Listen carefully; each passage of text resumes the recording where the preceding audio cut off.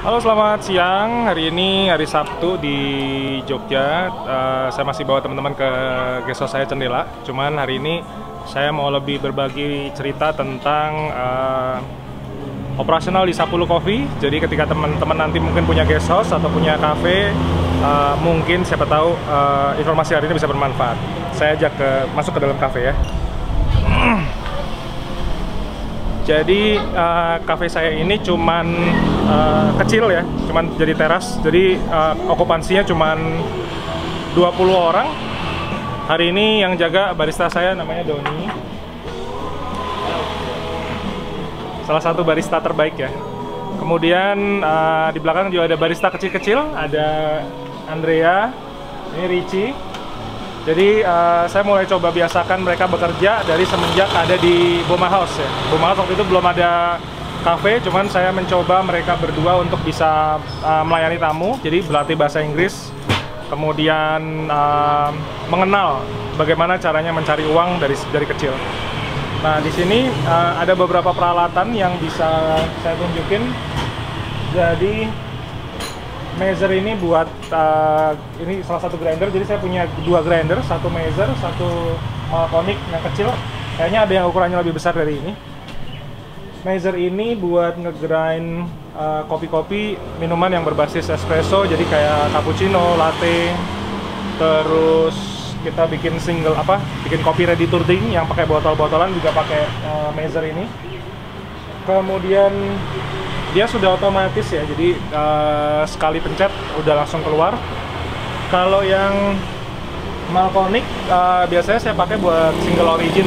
Jadi hari ini ini koleksi single originnya sekarang jadi selalu ganti-ganti ya. Ada beberapa dari Gordy ini juga dari Gordy.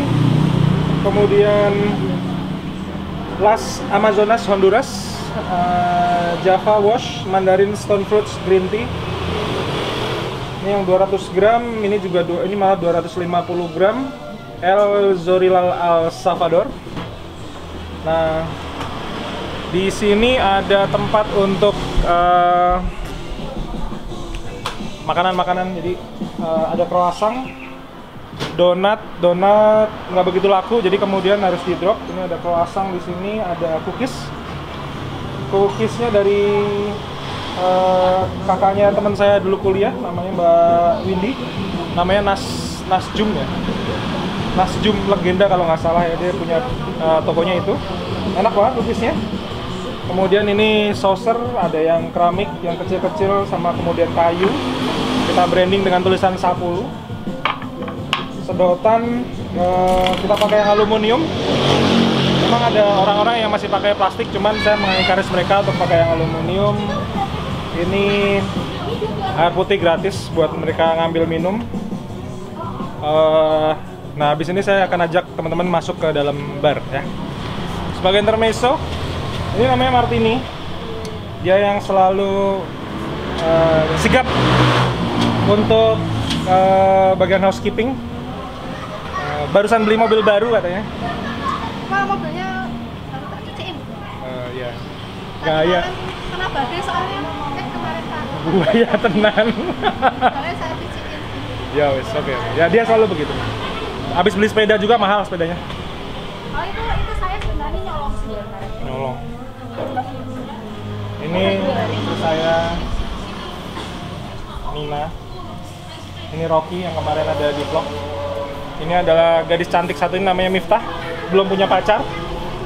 Jadi ya siapa yang suka terima kasih Mas Bima Oke, okay, kita masuk ke dalam bar ya.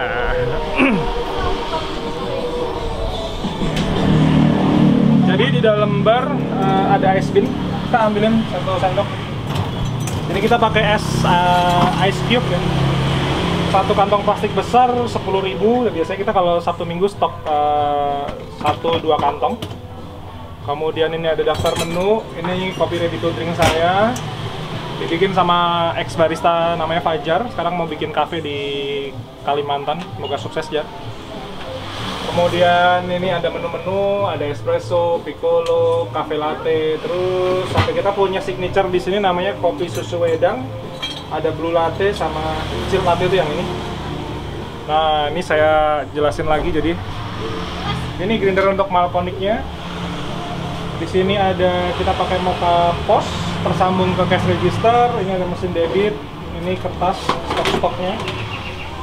Terus mesin saya pakai Lamar Zuko Linea Mini satu grup. Jadi untuk kafe ukuran kecil 20 orang cukup. Walaupun kadang-kadang kalau pas lagi rame em, suka hektik juga. Kemudian ini untuk steamer, ini untuk brewing, ini portafilter di sini untuk air panas tapi jarang sekali dipakai karena kita pakai kettle listrik. Terus ini grinder yang untuk minuman berbasis espresso. Ada kuas buat bersihin portafilter. Nah ini ada benda sederhana namanya knockbox buat kalau habis ngopi, brewing, ampas kopinya kita taruh di sini. Ini ada apa don jenis don? Temper. Nah, namanya temper. Temper, ini ada timbangan. Ini kita ada jug rinser jadi buat nyuci milk jug. Ini penggorengan. Ini tempat cuci piring. Jadi eh, kecil banget barnya jadi kadang-kadang hampir nggak cukup kalau pas lagi ada dua orang barista. Biasanya satu barista di luar, satu barista di dalam. Baik, eh, habis ini eh, saya mau minta tolong Doni untuk bikin cafe latte hot ya Don. Eh, nanti kan Doni sambil ngomong, jadi orang bisa tahu. Oke. Untuk untuk gramasinya kita pakai 18 gram. Ini udah otomatis, jadi nggak nggak perlu harus scale lagi.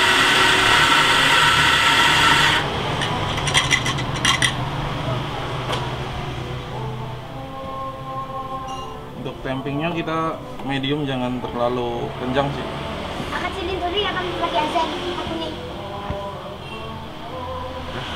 Kurang lebih kayak gini. Kalau terlalu eh, kenceng nanti jadinya apa sih Don? Jadinya Efeknya? efeknya Pahit. nanti di di di mesin jadi gosong, kopinya gosong gitu. Oh, kalau gosong, eh, nggak enak dia ngedrip ngedrip jadi gosong kayak gitu kalau Oke. terlalu kencang tampingnya Oke. Aku masuk sebentar.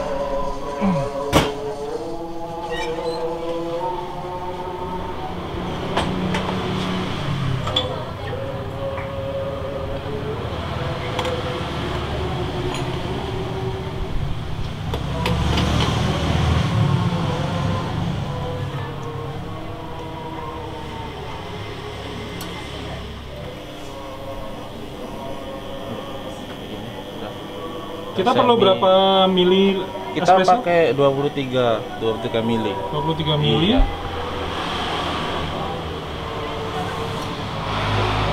Oh, ini 23 mili ya. 25 aja Lebih-lebih dikit kan boleh ya? boleh oh.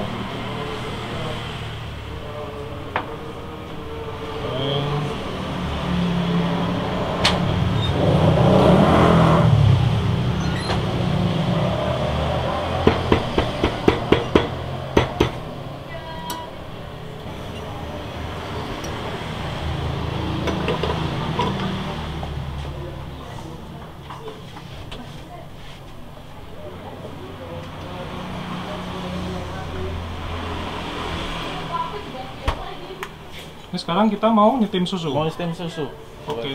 bikin latte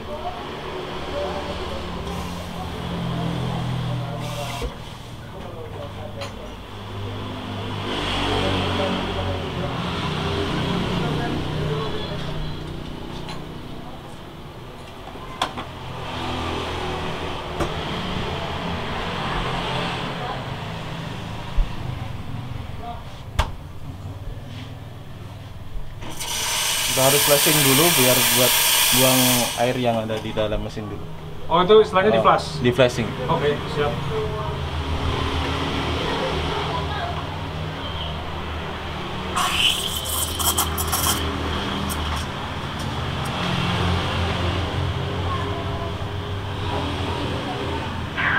Dia ini sama sama saya.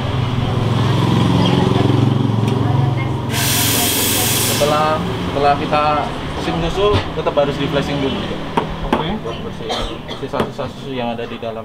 Oh, karena sisa susunya pasti akan masuk ke tubnya. Iya. Oke.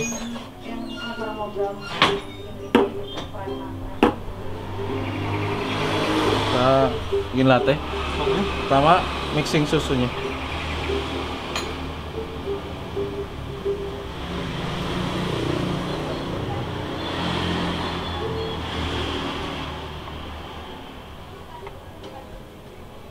Wih, cantik banget, Don. Yeay! Jadilah hot cafe latte. Ya, silahkan. Oke. Jadi seperti itu cara bikinnya, teman-teman. Eh, Doni emang keren sekali. Saya setahun belajar di sini belum berhasil ya. Mari kita lihat hasilnya. Oh. Dan terima kasih ya, Don. Sama-sama. Mas. Baik, eh, ini saya sekarang sudah minum eh, cafe latte buatan Doni, enak sekali. Terima kasih sekali Don.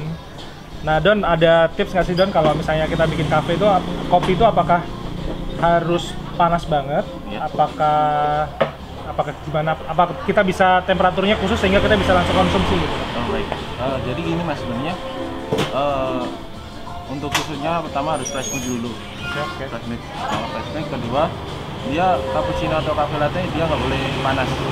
Artinya panasnya wong Jawa Dia mawah-mawah itu nggak boleh ya? Nggak boleh, nggak boleh. Dia hangat antara 60 derajat Celcius sampai 70 derajat Celcius. Soalnya eh, di fresh milk itu sendiri dia ada kadar ada kadar gulanya, Glukosa itu. Iya, iya. Dan dia nggak boleh pecah. Oh. Jadi yang menyebabkan cappuccino atau cafe latte itu manis tanpa gula, glukosa dari milk itu sendiri. Kalau dia pecah maka eh, udah nggak ada rasa manisnya, Udah nggak ada, jatuhnya nanti gurih, gurih itu, Eh, creamy itu. creamy. Oh oke oke oke oke oke. baik baik baik. Oke don, siap don. Makasih ya don. siap. Dan kenapa espresso itu mahal? Karena di setiap eh, di setiap stepnya itu terukur semua. Oke. Ditimbang semua. Ya jadi uh, barista barista sih aku pikir sebuah pekerjaan yang menarik ya buat siapa pun karena artinya ini benar-benar sebuah pekerjaan yang menuntut skill tinggi, bukan pekerjaan biasa. Tapi artinya apakah orang harus kursus atau bisa dipelajari secara otodidak ya? Asal kita mau belajar dan berkembang, insya Allah bisa. Oke. Kamu kan di sini kan uh, di Sapulu kan bulan ke mau masuk bulan kedua. Ya. Tapi secara total jadi profesi barista udah berapa tahun? Saya total profesi barista udah jalan 4 tahun. Jalan. keren ya keren keren baik ini sebuah profesi yang menjanjikan jadi teman-teman juga bisa hidup jadi seorang barista Eh, sampai ketemu lagi Ya. subscribe yeah